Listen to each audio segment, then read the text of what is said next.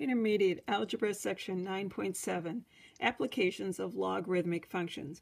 We're going to look at several examples here to show you the variety of areas that have formulas that use logarithms in them. And then this first problem, it states the average number of boats on a lake can be approximated by the function n is equal to 40 times the natural log of t plus 50, where t is the high temperature for the day in degrees Fahrenheit.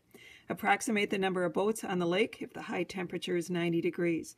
So they're asking us to find the number of boats. That would be n that we're looking for. And they're telling us that the temperature is 90 degrees. It's in Fahrenheit. And the formula states that the T temperature is in degrees Fahrenheit. So we're all set to go. There's nothing to solve other than simplifying the expression. We'll take 40 times the natural log of t, which is 90, plus 50 according to the formula. Using a, a scientific calculator then to simplify this, we're using natural log and following the order of operations, I will tap the natural log key of 90 multiply it by 40 next in our order of operations, and then after hitting equals, I will tap the plus 50 to do the last order of operation, any addition or subtraction.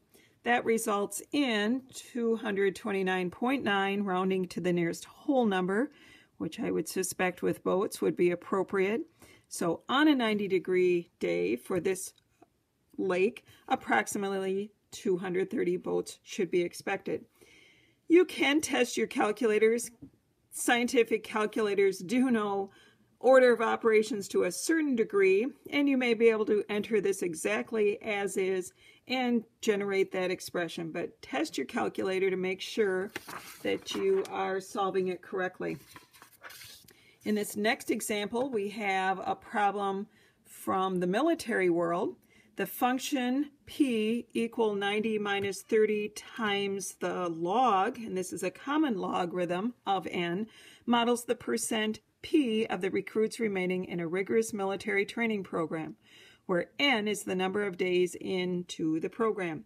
What percent of the recruits are still in the program after 54 days?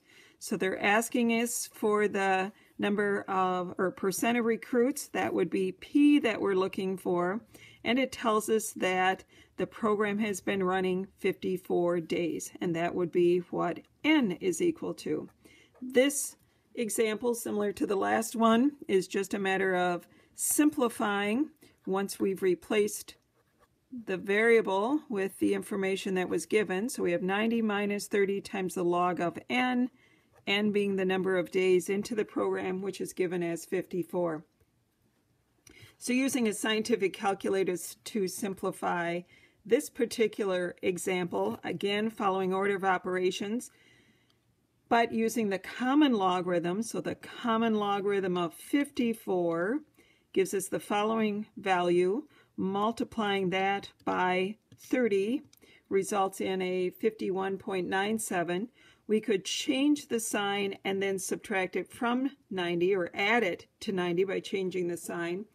Or in this particular model calculator, in the bottom row, we have an answer key. And the answer, when we tap that button, brings up the answer to the previous calculation, which in this case is the 51.97.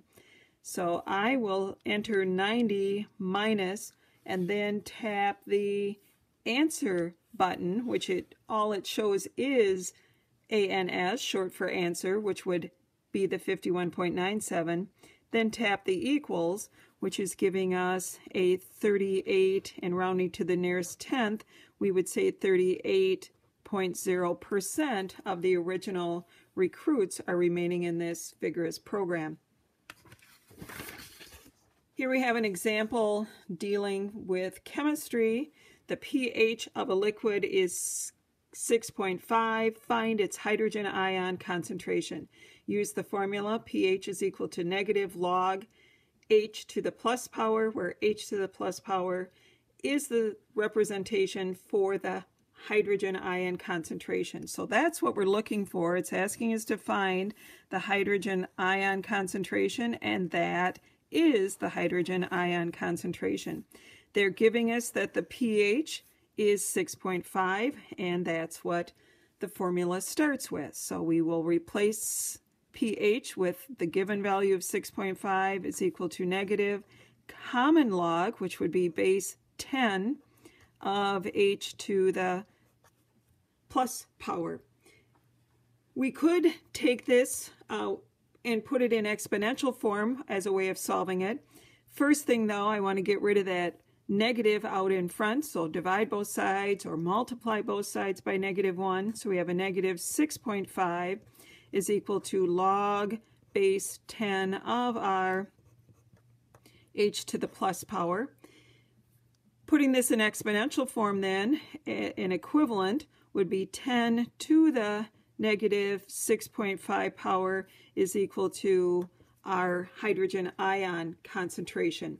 So a matter of taking a scientific calculator and whether we use our power key or exponential key, or if we use the anti-log, which is above the common logarithm, 10 to the, and that one seems maybe the easiest since it already has our base entered in that. So to activate that, I will tap the shift and the log key so that I have 10. We'll enter the power that 10 is raised to, and to put a negative, I'll use this key, negative 6.5 power, and tap the equals. And we end up with a value of 3.16, and it's a rather small, and if you notice here on the display, we have scientific notation times 10 to the negative 0.07 power is the hydrogen ion concentration. The other alternative that we could have done to solve this problem is to take the anti-log of each side.